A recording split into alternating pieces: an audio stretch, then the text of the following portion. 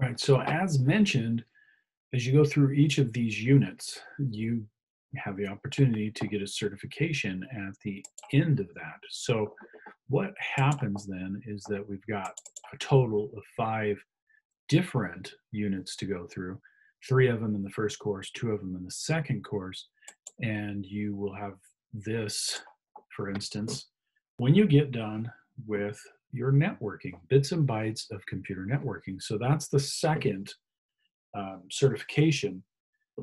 And I really like how they've got that laid out. So basically, when you do IT fundamentals and you finish what is required in that, which we covered in the other video, uh, you get this certification. And this is a PDF, again, of, of mine, and you can actually click this link. I could send this PDF to somebody and they could click that link and it would verify that I'm actually certified in that. So you get a certificate for each and every one of those course completions. And once you finish all five, then you get the, the Google IT support certificate. Let me see if I can actually find that one. There's technical support, there's a handout. There. Should be should be the one. Ah, that's not the one. Sorry, that's a help file. Um, but I did want to just show you, see here's the technical support fundamentals and OS. I, I like that idea um, because you're getting these little rewards as you go along. There's, oh, there it is. There's the big certificate. It's done a little different. It looks different. And it has a list of all those that you passed over on the side. Anyway, that's what you're doing. And the Google certificate, as I said in the, in the certifications one, I think is going to be a very popular one because it teaches you the basics of what you need to do or know to start that job.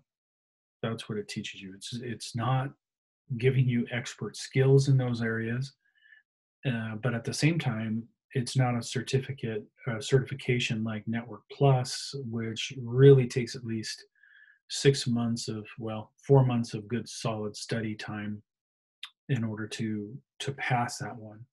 So to give you kind of an idea a google cert like the like the one that we're looking at here basically is going to tell your employer i got enough to start with. I'm ready to go. Let me get my hands on this stuff and get going.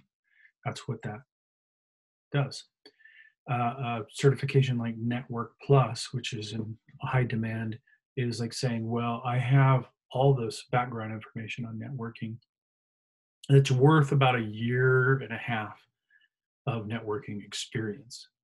And so when you drop me into a networking problem, I should be able to start going, okay, that's this, that's this, that's this. Let's work on that right? That's that is what that's meant for. And then of course you've got the higher certifications what i call the higher certifications like microsoft cisco and any of the others which are actually now more specific to whatever it is that you want to do whether it's systems admin or database administration or it infrastructure uh, for cisco and that kind of thing so I think that these are going to be hugely popular, and I just wanted to have a little short video to just kind of show you of what you'll get. These will be yours, and and that's these are again what you'll submit to me. This one you'll submit at the end of the course.